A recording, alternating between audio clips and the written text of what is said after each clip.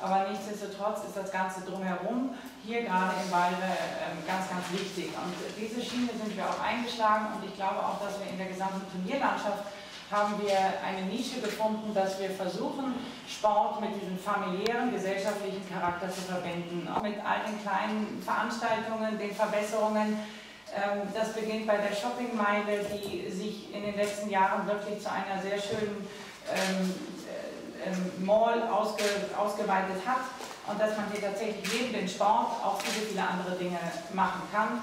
Wie gesagt, die Ausstellermeile, es ist das Kinderdorf, was sich äh, stetig verbessert. Wir können alle hingehen, können eine Botschaft an die, an die Reiter senden. Das ist eigentlich eine ganz nette äh, Verquickung und gibt ein tolles Wir-Gefühl, dass man eben auch hier auf acht Turnieren im Vorfeld eben Glückwünsche an die Reiter senden kann, eine Botschaft senden kann und damit äh, eine Nähe zwischen dem Zuschauer, dem Fan und, und den Reitern herstellen kann.